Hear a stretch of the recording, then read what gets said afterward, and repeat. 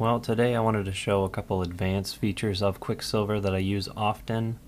Um, before I get into that, I want to make sure you're running at least the version I have, so if you go to try and follow this tutorial and the features I am using you don't have, let's just make sure.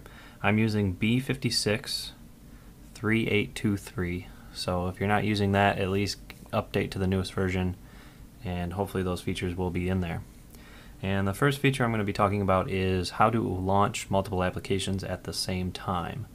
Um, this is really, really nice when you when you have a Mac and you're trying to you know get ready. Like for me, when I get ready for podcasting, I want to launch a specific set of applications at the same time.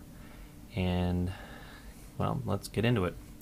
So let's say you just start your Mac up and you want to launch Mail and Safari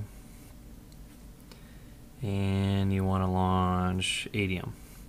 So I do this by typing the application that I want to launch and then hitting the comma. So let's go back here and you hit mail, then comma, Safari, comma, Adium, comma, and you can go on for quite some time. Now, after you hit enter, it's basically going to do all your everything that you've typed into.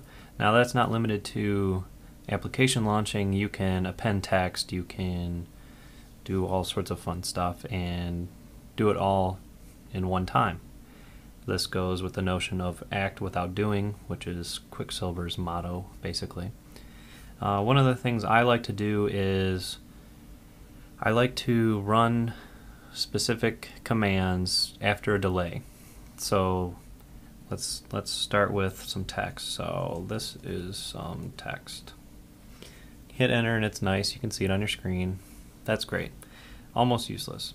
So basically you type out some text. So let's say I want to do uh, the Discovery channel promo. Okay.